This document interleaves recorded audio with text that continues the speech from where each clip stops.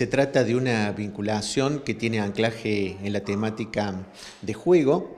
Eh, allí quienes han trazado esta vinculación, quienes la, han impulsado, son docentes del Departamento de Educación Física, concretamente la doctora Ivana Rivero.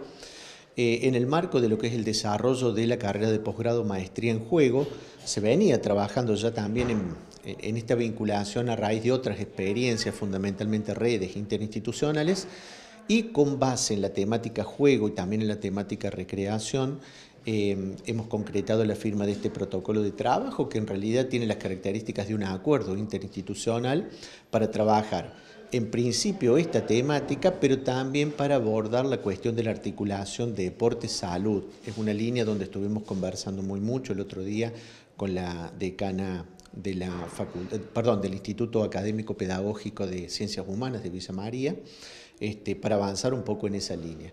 Así que mm, fundamentalmente con la temática educación física, juego, recreación, pero también con la posibilidad de proyectar hacia otras direcciones de trabajo. ¿Se está pensando en generar instancias de capacitación sobre estas temáticas u otros proyectos también? En realidad se piensa en una perspectiva múltiple.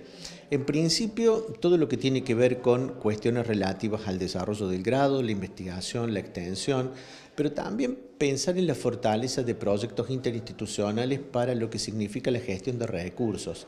De hecho, eh, concretamente se está trabajando un, evento de características académicas que fue presentado para su análisis en la última convocatoria de FONSIT para obtener financiamiento, digamos, desde ese marco.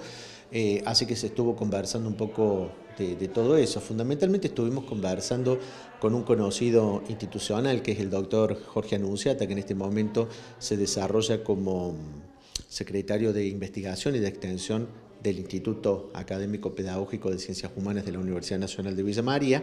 Estuvimos conversando precisamente estos marcos de gestión de recursos y, por supuesto que, que la desde esa perspectiva, desde la gestión de los recursos, la multiplicidad de actividades que puedan orientar esa gestión de recursos. ¿Y este proyecto que se ha, eh, se ha presentado en esta convocatoria, cuándo se conocerán los resultados? Entiendo que los resultados, no, desconozco si se conocen antes de fin de año o a principio del año que viene. Son marcos de financiamiento para la organización de eventos científico-académicos y en ese contexto las tres universidades coincidieron en la presentación de una propuesta para un evento que se desarrollaría el año próximo. Lo interesante aquí es que en esa línea se piensa fortalecer la vinculación no solo en lo relativo a lo que tiene que ver con las características de la investigación, del desarrollo del grado, sino también en, lo que acontece a, la gestión institucional. Nos parece que eso es muy importante.